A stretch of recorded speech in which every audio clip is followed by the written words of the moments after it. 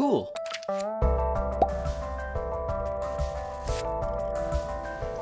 What's up guys, it's Devin here with Make Anything and today I want to do another uh, project with my GoPro.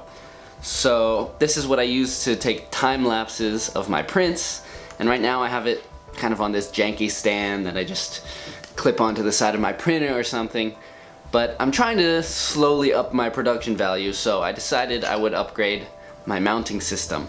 So I figured the best way to be able to orient my camera in all kinds of different positions would be by connecting it to a tripod, of course. Now there are tons and tons of GoPro accessories already available for 3D printing on Thingiverse and other various 3D printing sites, but I want to make a very simple connector that works directly with my tripod's quick release, so I'm going to make one from scratch.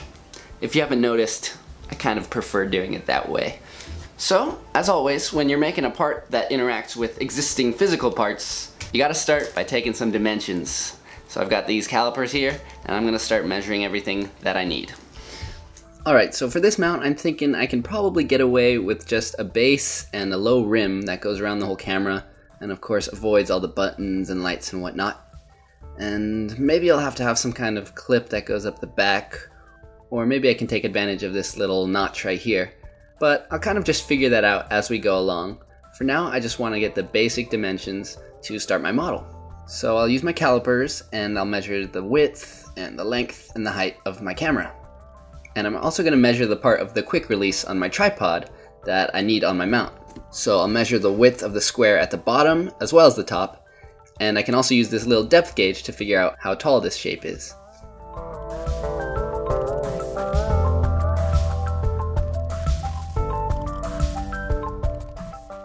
So, I'll open up SOLIDWORKS and make a new part, and the first thing I'm going to do is create an analog for the camera itself. So when you're building something that interacts with a real part, it's often nice to build a rudimentary version of the part. So here I'm making the camera, and it's got something like a 1.5 millimeter bevel, and then I'm going to start drawing on each face and just add references for all the different lights and lenses and all the things that I need to be aware of on the camera. So I'll draw the button here, the light, the LCD screen. So as I'm doing this, I've got my GoPro in one hand and my calipers in the other, and I'll keep referencing that and adding dimensions based on the physical camera until I've got everything in its right place, proper size, and locked in.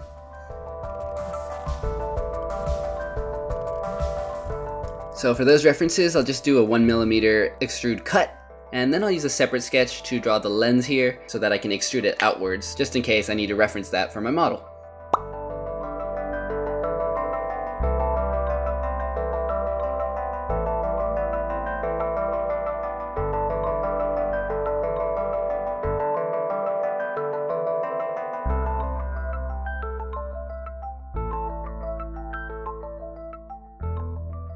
Now I'll move on to the next side and I'll do the same thing with all the different buttons and holes and whatnot. And I'll keep doing that all the way around the camera until I think I have everything that I need. So now that I've got a good representation of my GoPro, I can go ahead and start modeling the case that I'm building. And I was gonna just go straight across and do something boring, but I figured why not do something a little different. So I'm gonna do this diagonal cut, and I'll go ahead and just come up with my own dimensions except I'm specifically making those edges 2.5 millimeters from the edge of my GoPro so that I can have 2 millimeter thick walls and then a 0.5 millimeter tolerance on each side. Then I'm going to go on the back of the camera and create another sketch, convert that shape, and actually mirror it.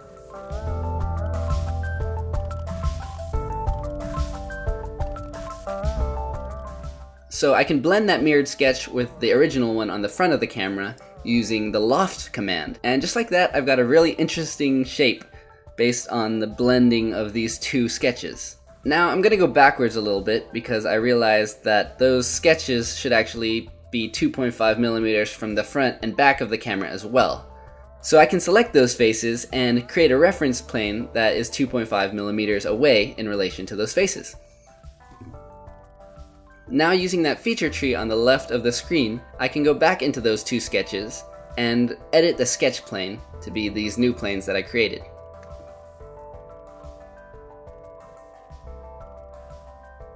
Now when I do the loft again, you can see that there's a 2.5 millimeter border all around the camera, not just on the sides. Next, I'm going to fillet these edges so they look a little friendlier. And I want the fillet to be concentric with the fillet of the camera itself.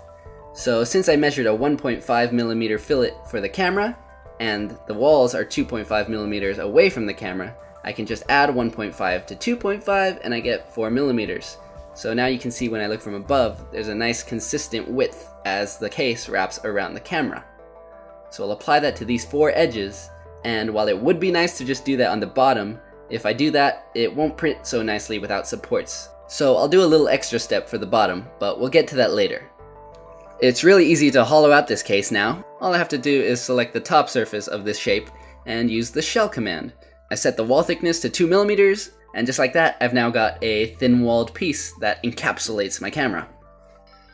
Now I'm going to start cutting those holes into the model that allow me to access the buttons and everything on the camera. I'll start by sketching on the front face of my case. So I'll create circles that are concentric with the buttons and lights and lenses, and I'll dimension those circles to have a bit of an offset from the features. That way, just in case I didn't measure them perfectly, it'll still work, and also just so my thumb can press the buttons and things like that.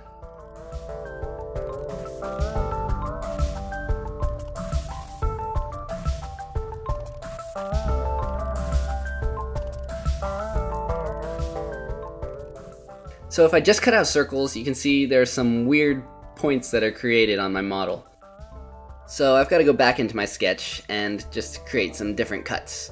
I'll just go straight across here, and then I'll also connect these circles at the top and cut everything away so that it's a single shape.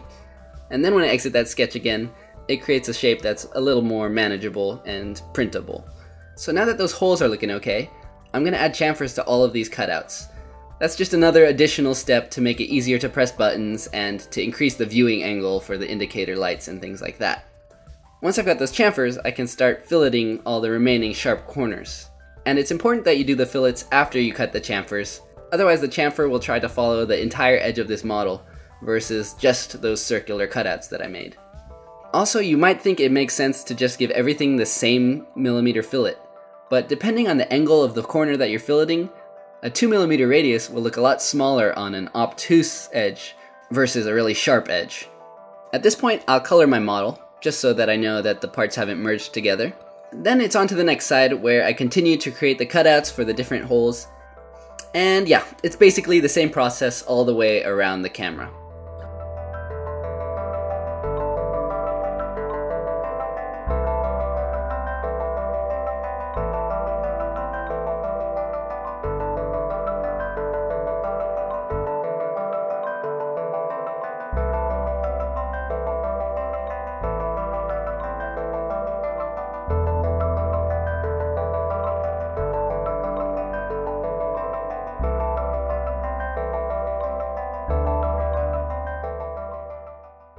At this point, I think it's a good time to go in and fillet that bottom edge that we've been waiting on. So I'm going to do a cross section through my model so I can see on the inside of this case, and I'm going to put a fillet on this little inside edge to match the round of the camera itself.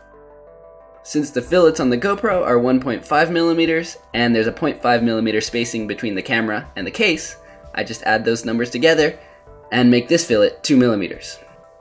On the outside, I'm first going to do a chamfer, and then I'll fillet the top edge of that chamfer. That way there's never an overhang that's more than 45 degrees, and I know my printer can handle it without supports.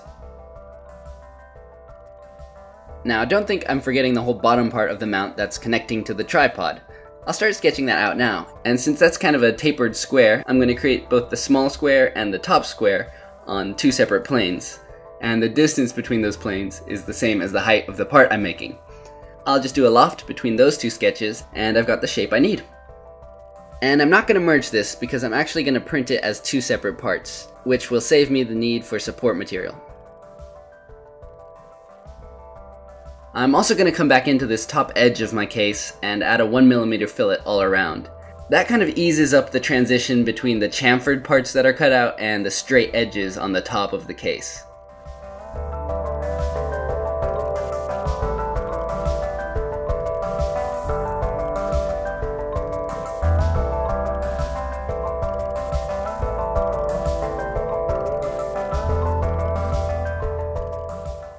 So here's the part printed out in a kind of Nickelodeon green, and I'll do a little bit of cleanup with the X-Acto knife, and then I can test out the fit of the camera.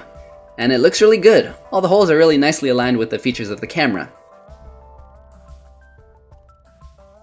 And I'm just going to add one of these little adhesive felt pads to the inside of the case, which will make the fit more snug.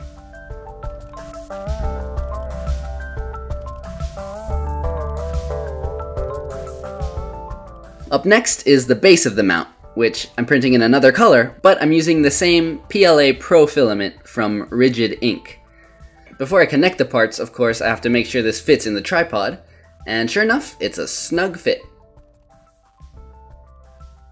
Alright, now I'm ready to attach the base of my model to the GoPro part, and sure, I could just use super glue or some kind of adhesive, but I'm going to use my 3D printing pen because I think that's better for a few reasons.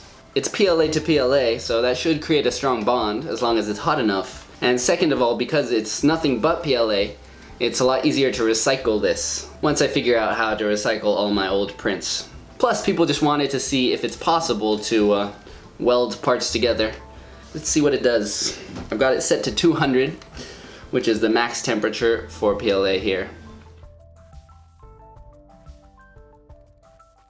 So I just go in and create a big glob of plastic and try to get the next part on there really quickly. My first attempt, I guess I wasn't fast enough. So I tried it again, more prepared this time, and after holding it there for a few seconds, the connection was pretty secure. I'm sure it would be a lot stronger if I drew a line all the way around the two parts, but I don't want to affect how it connects to the tripod. And when I tested it out, everything worked out fine and the connection can hold the weight of the entire tripod, so I consider that a mission accomplished. Till next time everyone, stay inspired.